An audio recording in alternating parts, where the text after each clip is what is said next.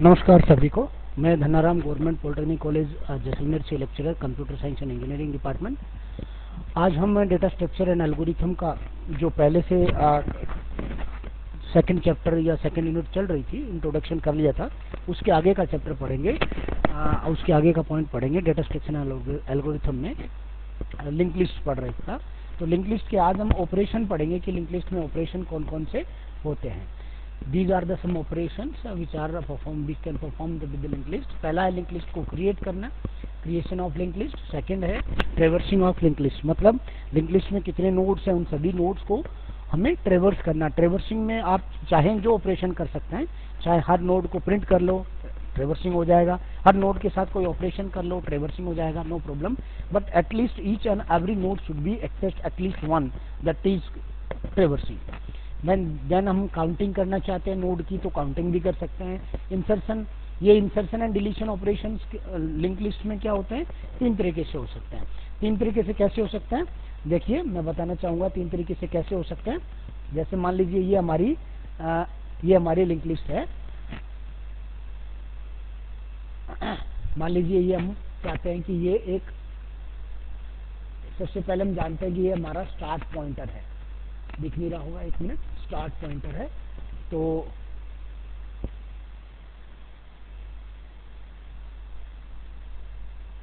Start pointer है।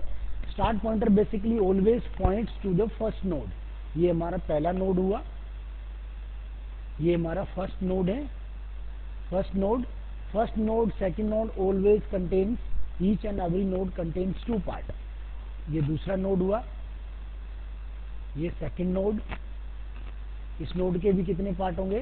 दो part होंगे। पहला पार्ट जो रखता है डेटा और दूसरा पार्ट क्या होता है? इंफॉर्मेशन रखता है। किसकी अगले नोड की इंफॉर्मेशन यानी एड्रेस तो सपोज़ एक बहुत अच्छे से एग्जांपल के तौर पे मान लीजिए, इस नोड का एड्रेस है वन डबल ज़ीरो वन इस एड्रेस का मान लीजिए एड्रेस है थ्री डबल ज़ीरो वन इस एड्रेस का इस नोड का एड्रेस है फोर डबल ज़ीरो वन तो इनकी वैल्यू कहाँ होगी? और नोड की वैल्यू मान लीजिए। नोड की वैल्यू अपन मान लेते हैं। नोड की वैल्यू मान लेते हैं। ये नोड है, इसकी वैल्यू मान लो थर्टी फाइव इसमें नोड में वैल्यू रखनी है आपको सिक्सटी फाइव ओके इसमें वैल्यू नोड में रखनी है वैल्यू मान लीजिए एट्टी फाइव तो ये तीन वैल्यू आपको लिंक लिस्ट बना करके स्टोर करना है। और फिर आपको मान लीजिए हम चाहते हैं कि इनका लिंक कैसे होगा। तो सबसे पहले ये जो स्टार्ट नाम का पॉइंटर है, इसकी वैल्यू क्या होगी पता है? ये पहले नोड को पॉइंट कर रहा है। इसका मतलब क्या होगा? स्टार्ट की वैल्यू होगी one double zero one what is the value of start pointer start pointer start की वैल्यू होगी वन डबल ज़ीरो वन क्योंकि स्टार्ट एक पॉइंटर होगा और वो किसी मेमोरी लोकेशन जो वैल्यू करता है, वो होल्ड करता है। तो इसलिए ये स्टार्ट इसको पॉइंट करेगा।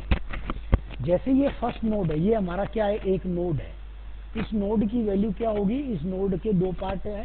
पहला पार्ट हमारा और ये दूसरा पार्ट पहले पार्ट में डेटा है, दूसरे पार्ट में क्या होगा? देखो, दूसरा पार्ट पॉइंटर पार्ट होता है। पॉइंटर पार्ट होता है, इसका मतलब इसमें एड्रेस वैल्यू होगी।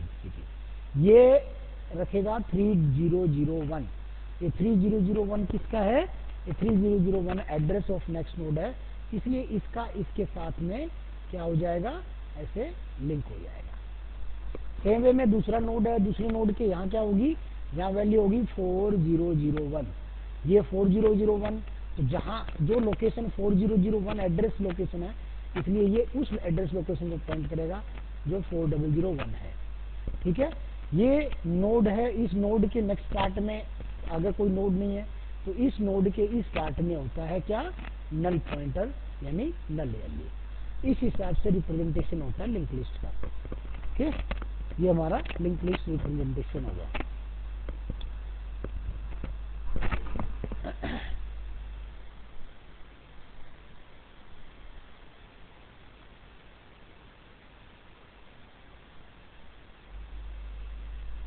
अब आ रहा है, बढ़िया. ठीक ये सिंपली लिंक रिप्रेजेंटेशन होगा दिख रहा आई थिंक थोड़ा बहुत दिखने में दिक्कत होगी, अभी कोई दिक्कत नहीं होगी चलिए, हम आगे बढ़ते हैं। अब हमारा, हम बात कर रहे हैं ऑपरेशन की। एक नई शीट खोल लेते हैं। नई शीट खोल के फिर से आपको बताते हैं। अब आपकी बात करते हैं। ये, मान लीजिए, ये हमारा एक स्टार्ट पॉइंटर है। ये स्टार्ट पॉइंटर ये पॉइंट करेगा किसको? that point to the a node that node work as a first node. That node work as a first node and this node have two part. Same way mein this is another node this is another node this node also have two part and again this is another node this node again have two part. Okay first part को हमें पता है कि क्या बोलते हैं? First part को हम डेटा पार्ट या इन्फो पार्ट बोलते हैं। डेटा पार्ट या इन्फो पार्ट बोलते हैं। सेकंड को हम लिंक पार्ट या लिंक पार्ट या नेक्स्ट पार्ट बोलते हैं। लिंक पार्ट या नेक्स्ट पार्ट बोलते हैं। ओके? अब मान लीजिए तीन, कोई नोड है आपके पास, तीन नोड की सॉरी लिंक लिस्ट है ये। ये सिंपल लिंक लिस्ट है जिसको सिंगल लिंक लिस्ट बोलते हैं। ओके? सिंगल लिंक लिस्ट बोलते हैं या फिर सिंपल लिंक लिस्ट बोलते हैं। अब इस लिंक लिस्ट का कैसे वैल्यू होगा? अब जैसे मैंने अभी पिछले में थोड़ा दिख नहीं रहा था तो दोबारा बना रहे हैं। मान लीजिए ये एड्रेस फिर से मान लो। ये एड्रेस मान लीजिए one double, one zero one. इसका एड्रेस है थ्री ज़ीरो वन। इसका एड्रेस है, मान लीजिए फाइव ज़ीरो वन तो कैसे वैल्यू कनेक्शन होगा? कि पहला जो वैल्यू है फ़र्स्ट नोड का जो कनेक्शन है, वो स्टार्ट की वैल्यू हमारे क्या है? स्टार्ट की वैल्यू वन ज़ीरो वन इसलिए स्टार्ट किसको पॉइंट कर रहा है? उस मेमोरी एड्रेस को पॉइंट कर रहा है। उस मेमोरी लोकेशन को पॉइंट कर रहा है, जिसकी वैल्यू क्या है? 101 तो 101 हो गया। इस हमारे पास, मान लीजिए लिंक लिस्ट है, जिसमें वैल्यू है, कि आपको कह दिया जाए कि आपको 35 65 और 75 नाम तीन डेटा आपको लिंक लिस्ट में स्टोर करने हैं, उसकी लिस्ट बनानी है। तो हमें क्या करना है? इन डेटा को स्टोर करने के लिए हमें हर नोड के डेटा पार्ट में तो यहाँ हो गया 35 ये डेटा पार्ट हो गया। दूसरा हो गया हमारा क्या? यहाँ हो गया 65 ये हमारा 65 हो गया। तीसरा हमारा डेटा वैल्यू है 75 तो ये क्या होगी? 75 डेटा एलिमेंट इसमें स्टोर हो गया। अब हमें इसका कनेक्शन करना है। तो जैसे स्टार्ट की वैल्यू 101 है तो स्टार्ट 101 वाले नोड को पॉइंट कर रहा है। अब इसके जो दो पार्ट होंगे नेक्स्ट पार्ट में क्या होगा? या लिंक पार्ट में एड्रेस होगा नेक्स्ट का। एड्रेस किसका होगा? नेक्स्ट का। तो यहाँ क्या होगी वैल्यू यहाँ होगी 301 तो इसलिए ये पॉइंट करेगा उस एड्रेस लोकेशन को जहाँ 301 नाम का नोड स्टोर है। तो ये क्या हो गया? 301 को पॉइंट करेगा। यहाँ क्या होगा? यहाँ होगा 501 यहाँ क्या होगा? 501 यहाँ 501 हुआ तो ये उस नोड को पॉइंट करेगा जिसकी वैल्यू 501 है। ये नोड जो है, ये नोड क्या है? ये नोड हमारा इस नोड का इस लिस्ट का लास्ट नोड है। इस लिस्ट का लास्ट नोड है। तो लास्ट नोड के नेक्स्ट पार्ट में हमेशा क्या होता है? नल होता है। क्या होता है? नल पॉइंटर या नल वैल्यू होता है। तो इस हिसाब से रिप्रेजेंटेशन होता है। तो अभी हम बात कर रहे थे लिंक लिस्ट ऑपरेशन का। तो ऑपरेशन अगर हम बात करते हैं इंसर्शन की, अगर इंसर्शन ऑपरेशन बात करते हैं इंसर्शन ऑपरेशन की बात करेंगे तो इंसर्शन लिंक लिस्ट में तीन टाइप से होंगे। तीन टाइप से कैसे होंगे भी? तीन टाइप से इंसर्शन होंगे। या तो पहला टाइप कौन सा हो गया? या तो आपको स्टार्ट में नोड कर स्टार्ट में कोई नोड इंसर्ट करना। या दूसरा हो जाएगा एंड में कोई नोड इंसर्ट करना। या तीसरा हो जाएगा किसी नोड के बाद या किसी लोकेशन पे पर्टिकुलर लोकेशन पे कोई नोड इंसर्ट करना। किसी लोकेशन पे या किसी नोड के बाद पहले या बाद में कोई नोड इंसर्ट करना। ये तीन टाइप के ऑपरेशन में होंगे इंसर्शन के। जैसे यही हमारी लिंक लिस्ट है। अब मान लीजिए आपको एक नोड इंसर्ट करना है। हम एक एग्ज़ाम्पल के तौर पर देखना चाहते हैं क्या? कि कैसे नोड इंसर्ट करना है। जैसे मैं चाहता हूँ कि एक नोड में, एक नोड बनाते हैं और आपको फ़र्स्ट में इंसर्ट या लास्ट में इंसर्ट करके दिखाते हैं। मान लीजिए एक आपने बनाया एक नोड जिसकी एक नोड बनाया हमने। ये लो, एक नोड बनाया। ये नोड हमने एक नोड बनाया। अब अब कह दिया जाए कि आपको एक वैल्यू 25 इंसर्ट करना है। तो 25 पहले, सबसे पहले नोड क्रिएट होगा। नोड क्रिएट होने के बाद में मेमोरी मिलेगी इसको। उसके डेटा पार्ट में डेटा डाला आपने 25 एक नया डेटा 25 आपको इंसर्ट करना है। तो कहाँ इंसर्ट करेंगे, ये बताई जाएगी। आप यहाँ इंसर्ट करना चाहते हो? यहाँ इंसर्ट करना चाहते हो या मिड में कहीं इंसर्ट करना चाहते हो। तो इस टाइप के ऑपरेशन लिंक लिस्ट में होंगे मान लीजिए यहाँ इंसर्ट करना चाहते हैं फ़र्स्ट में। तो ये एक नया नोड बना जो एन नाम से इस ना, एन नाम से नोड बना ओके इसको कोई मेमोरी मिली इसकी मेमोरी क्या था? 101 था। इसकी कोई मेमोरी मिली। ठीक है? इसको मान लीजिए मेमोरी मिला मेमोरी एड्रेस मिला क्योंकि डायनेमिक मेमोरी मिलेगा तो कोई कुछ भी हो सकता है। वैल्यू सात सौ एक सेवन ज़ीरो वन एड्रेस मिला इसको। हमने नोड क्रिएट किया मेमोरी एलोकेट किया और इसके बाद में डेटा वैल्यू डाल दिया। ठीक है? और ये काम मेमोरी एलोकेशन वाला काम है ना? सी प्रोग्रामिंग लैंग्वेज के हिसाब से, सबकी लैंग्वेज के हिसाब से अलग अलग होता है। डायनेमिक मेमोरी एलोकेशन सी में मेलो फ़ंक्शन अगली स्लाइड में पढ़ेंगे तो उसके हिसाब से आपको कोई दिक्कत नहीं इजीली आप कर सकते हैं। तो नोड क्रिएट किए नोड के डेटा पार्ट में डेटा डाला। अब नेक्स्ट पार्ट में क्या है? इस पार्ट में कुछ नहीं है तो हमें यहाँ एड को इंसर्ट करना है। तो सिंपल सी बात है, यहाँ ऐड करना है तो हम क्या करेंगे, सबसे पहले स्टार्ट की जो वैल्यू है, वो कहाँ रख देना है? स्टार्ट की जो वैल्यू है, वो कहाँ रख देना है? यहाँ रख देना है। तो स्टार्ट की वैल्यू यहाँ रख देना है तो वो स्टार्ट वाली वैल्यू वहाँ आ जाएगी। तो यानी हम क्या करेंगे, सिंपल सी बात है कि एन के जो नेक्स्ट पार्ट है एन का जो नेक्स्ट पार्ट है, उसमें क्या कर देंगे? स्टार्ट डाल देंगे। एन के नेक्स्ट पार्ट में क्या डाल देंगे? स्टार्ट डाल देंगे। तो स्टार्ट की वैल्यू क्या हो जाएगी? क्या पहले से स्टार्ट की वैल्यू क्या है पहले से? स्टार्ट की वैल्यू 101 है। तो यहाँ जैसे हमने 101 डाली, जैसे ही 101 यहाँ डाला 101 तो ये पॉइंटर की तरह काम करता है। तो सिंपल सी क्या करने लग जाएगा?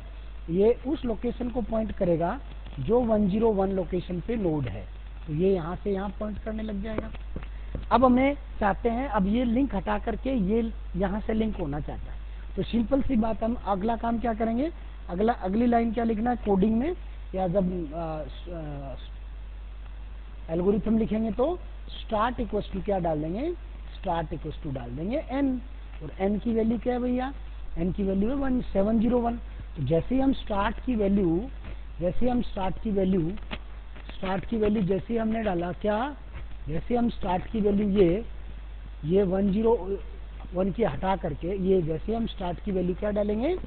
सेवन ज़ीरो वन जैसे ही सेवन ज़ीरो वन डालेंगे तो हमारा क्या हो जाएगा? हमने क्या डाला? सेवन ज़ीरो वन तो स्टार्ट की वैल्यू जैसे हमने सेवन ज़ीरो वन डाला तो स्टार्ट का क्या हो जाएगा? लिंक यहाँ से कट के उस मेमोरी लोकेशन पे लिंक हो जाएगा, जहाँ सेवन ज़ीरो वन नाम का नोड पड़ा है। ये सेवन ज़ीरो वन नाम का नोड हो गया। अब देखो आपका कनेक्शन कैसे हो गया? ये स्टार्ट नोड हो गया। स्टार्ट नोड के बाद में ये दूसरा यहाँ से यहाँ लिंक हो गया और ये हमारा आगे लिंक हो गया। इस हिसाब से नोड इंसर्ट हो गया। फ़र्स्ट में सिर्फ़ दो सिंपल सी लाइन है। हमें क्या करना है? एन जो नया नोड बना है, उसके नेक्स्ट में स्टार्ट डाल देना है और स्टार्ट में जो वैल्यू है, नए नोड के एड्रेस डाल देना है। तो इस हिसाब से फ़र्स्ट में इंसर्ट हो जाएगा। अब मान लीजिए आपको नेक्स्ट में लास्ट में इंसर्ट करना है नोड मान लीजिए आपको लास्ट में नोड इंसर्ट करना है तो लास्ट में इंसर्ट करने के लिए क्या करेंगे? मान लीजिए आपको एक नोड बनाया हमने यहाँ, ठीक है? एक नया नोड बनाया। उस नोड पे हमने क्या करना है? उस नोड को लास्ट में इंसर्ट करना है। ठीक है? कैसे इंसर्ट करेंगे? पहले तो ये नोड क्रिएट होगा। नोड क्रिएट करने के लिए आपको सिंपल सी वैल्यू है। डिक्लेयर किया नोड अब आपको कह दिया जाए कि एक नई वैल्यू 85 आपको इस नोड के लास्ट इस लिस्ट के लास्ट में ऐड करना है। तो 85 को ये नया नोड है।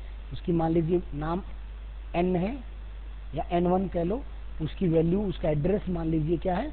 801 तो इसकी डेटा पार्ट में डेटा डाल दिया कितना? 85 जो आपको इंसर्ट करना था। ओके अब हमें क्या करना है? इसके नेक्स्ट पार्ट में हमें क्या डालना है? तो जब नोड क्रिएट कर रहे हो, तभी तो आप इंसर्ट करके नल करके रख लो, कोई दिक्कत नहीं है। खाली रखने से ठीक नहीं है कि प्रोग्रामिंग लैंग्वेज में दिक्कत ना हो आपको, इसलिए आपको नल डाल के रख लो। ठीक है? अब आपको क्या करना है? इस नोड पॉइंटर को एक नया पॉइंटर डिक्लेयर करना है टी हाँ? एक नया पॉइंटर डिक्लेयर करना है टी और उस टी से हमें क्या करना है? टी को फ़र्स्ट से लेके लास्ट में पढ़ना है। तो मैंने क्या किया? एक मिनट यहाँ से देखने की कोशिश करना। एक नया पॉइंट पॉइंटर बनाया टी टी नाम का पॉइंटर डिक्लेयर किया। उसको हमने इनिशली स्टार्ट से इनिशलाइज कर दिया। यानी स्टार्ट की वैल्यू टी में डाल दी। इस लाइन का मतलब ये हुआ कि जिस नोड को टी पॉइंट कर रहा है, उसको अब स्टार्ट पॉइंट कर रहा है, उसको अब टी भी पॉइंट करेगा, क्योंकि ये स्टार्ट किसको पॉइंट कर रहा है? इसको पॉइंट कर रहा है तो टी यहाँ हो गया। ओके टी किसको हो गया? इसको पॉइंट कर रहा है टी ठीक? अगली लाइन में हम क्या करेंगे? देखेंगे क्या टी का जो नेक्स्ट पार्ट है, चखेंगे, क्या टी का जो नेक्स्ट पार्ट है, क्या वो नल है क्या? क्या वो नल है? अगर वो नल है नहीं है तो हम क्या करेंगे? ये लूप लगा देंगे वाइल जब तक टी का नेक्स्ट पार्ट नल नहीं हो, तब तक हम क्या करेंगे? तब तक हम क्या करेंगे? टी की नई वैल्यू निकालेंगे टी बराबर टी का नेक्स्ट टी बराबर टी का नेक्स्ट इस लाइन से हम क्या करेंगे? देखो क्या होता है, बड़ी शानदार लाइन है ये। आपने यहाँ टी को लिया है टी के नेक्स्ट में नल है क्या? जी नल नहीं है। तो जब तक नॉट इक्व टू नल ये ध्यान रखना ये नॉट इक्व टू नल है ये नॉट इक्व टू नल जब तक नल नहीं है तो हम क्या करेंगे? टी की नई वैल्यू आएगी टी के इक्व टू टी का नेक्स्ट टी के नेक्स्ट में वन ज़ीरो वन है तो इसके वन आ, इसके नेक्स्ट में क्या आएगी? इसके नेक्स्ट में क्या है? थ्री ज़ीरो वन सॉरी इसके नेक्स्ट में क्या है? थ्री ज़ीरो वन तो ये सॉरी तो फ़र्स्ट में इंसर्ट करना समझ में आया? हाँ।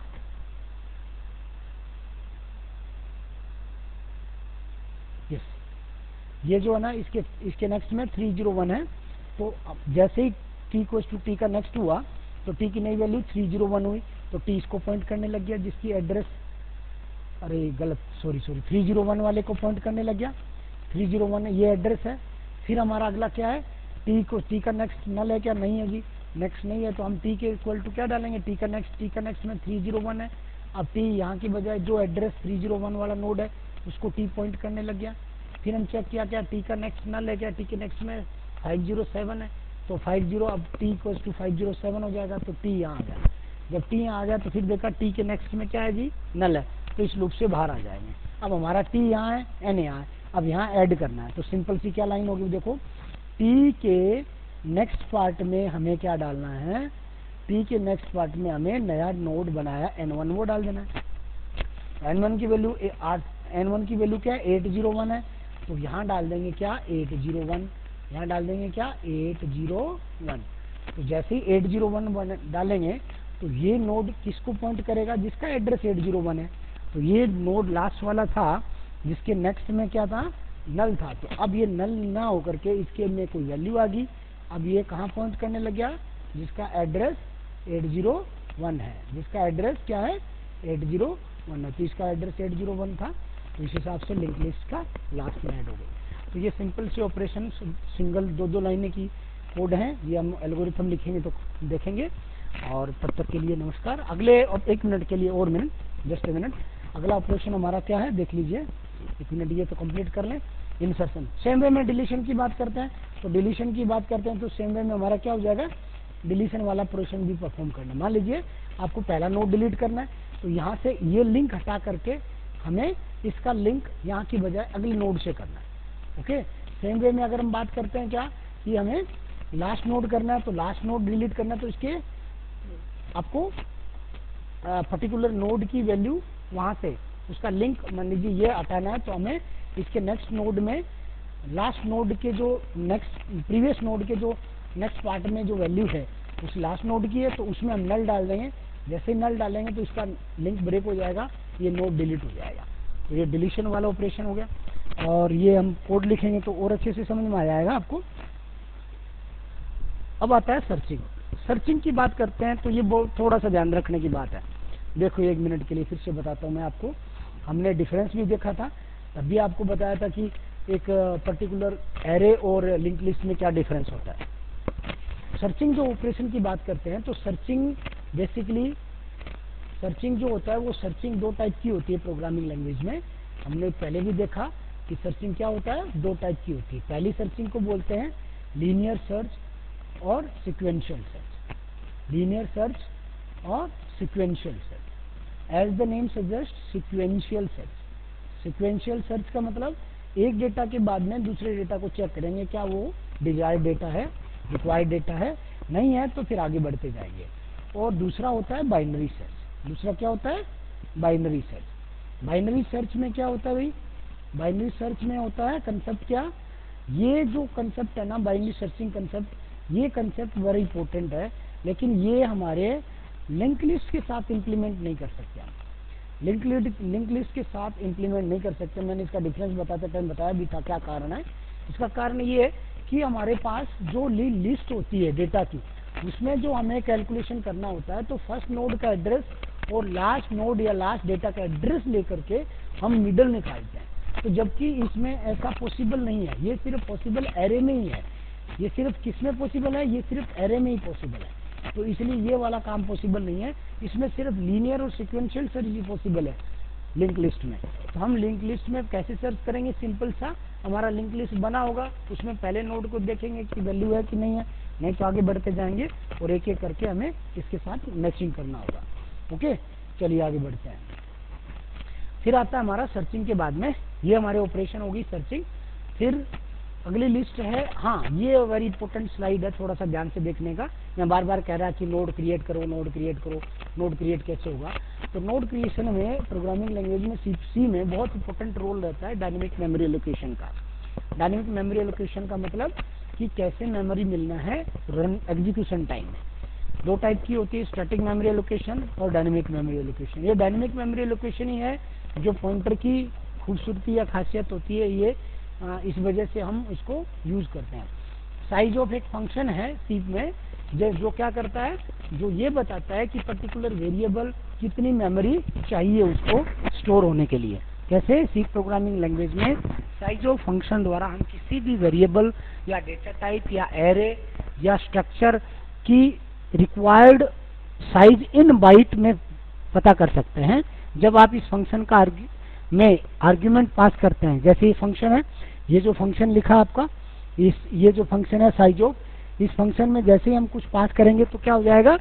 वैल्यू पास करनी पड़ेगी फ़ंक्शन है जो पैरामीटर तो ये रिटर्न देगा कुछ वैल्यू रिटर्न फ़ंक्शन है ये, जैसे size of age size of age तो ये क्या करता है? बाइट में मेमोरी रिक्वायर्ड देता है। सी प्लस सी में बहुत अच्छा फ़ंक्शन होता है, जिसको बोलते हैं मेलोक फ़ंक्शन ये मेलोक फ़ंक्शन का क्या काम होता है? देखिए इस फ़ंक्शन का प्रयोग मेमोरी लोकेशन करने के लिए किया जाता है। इस फ़ंक्शन में आर्ग्यूमेंट के रूप में साइज़ पास करते हैं। इसलिए साइज़ ऑफ़ ऑपरेटर का यहाँ यूज़ करेंगे। कैसे करेंगे? देखते हैं आगे क्लास में। इस फ़ंक्शन में आर्ग्यूमेंट के रूप में साइज़ पास करता है। यह फ़ंक्शन स्पेसिफाई की गई साइज़ में जितनी मेमोरी एलोकेट करता है, उतनी मेमोरी स्पेस उस उसको स्टार्टिंग एड्रेस को या वेरिएबल के पॉइंटर को अलोकेट कर देती है। और इस फ़ंक्शन में हम जनरल सिंटेक्स क्या देखिए। ये आपका वेरिएबल नाम है। एन पीटीआर या पीटीआर कोई वेरिएबल ले सकते हो आप। कोई वेरिएबल ए ले लो बी ले लो, कुछ भी। ध्यान रखना, हमें उसका डेटा टाइप क्या है? यानी जो अलोकेट वेरिएबल है, उसका डेटा टाइप क्या है? एस्ट्रिक लगा करके साइज़ ऑफ़ ब्रैकेट प्रोग्रामिंग में आगे बहुत अच्छे से जनरल सिंटेक्स याद रखना आपको, है ना? चलिए आगे देखते हैं। फिर आता है हमारा क्या? ये छोटा सा फ़ंक्शन है मेमोरी लोकेशन का, कैसे कंसेप्ट काम करता है है ना? जैसे डायनेमिक मेमोरी लोकेशन की बात कर रहे हैं तो हमने एक सिंपल सा मेमोरी लोकेशन का कोड लिखा है, जिसमें एक फ़ंक्शन लिखा है मेन इंट आई और इंट एस्ट्रिक एक्स ये हमारा पॉइंटर है, देखो। ये हमारा क्या है? पॉइंटर है एक्स ये पॉइंटर है। यहाँ हमने एक्स को मेमोरी दिया है डायनेमिकली कैसे दिया? ये इसकी टाइप क्या है इसका? साथ में एस्ट्रिक फिर मेलोक फ़ंक्शन फिर इसको कितनी साइज़ देना है भैया? कितनी साइज़ के लिए मेमोरी देना है? दस साइज़ के लिए देना है। दस साइज़ के लिए साइज़ देना है और इसके बाद में क्या करना है? मेलोक फ़ंक्शन आपका काम कर गया ठीक है? मेलोक फ़ंक्शन आपका काम करा। इसके बाद में ये फ़ंक्शन एक मिनट के लिए। हाँ चलिए साइज़ ऑफ़ फ़ंक्शन ये पास किया, इसका साइज़ इंटीजर इसकी बाइट में कितने में मतलब किस हिसाब से इसका डेटा टाइप लेगा।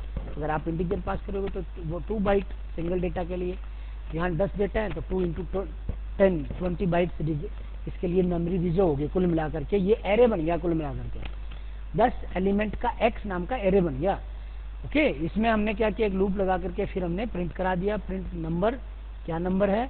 आई प्लस वन स्टार्टिंग की वैल्यू आई वन ज़ीरो है। ज़ीरो प्लस वन वन से लेकर के आई की वैल्यू जैसे जैसे ज़ीरो टू फोर तक जाएगी।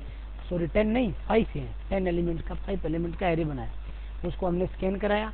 नीचे हमने प्रिंट कर लिया। तो सिंपल सा, बिना एरे को डिक्लेयर करे, हमने एक्स नाम के वेरिएबल को मेमोरी एलोकेट की और उसका वैल्यू असाइन किया वैल्यू डाली और उसको हम प्रिंट करा लिए लास्ट में नीचे। तो कहने का मतलब है डायनेमिकली मेमोरी देना किसी वेरिएबल को, ये सिंपल सा कोड है उसका। ओके आगे बढ़ते हैं।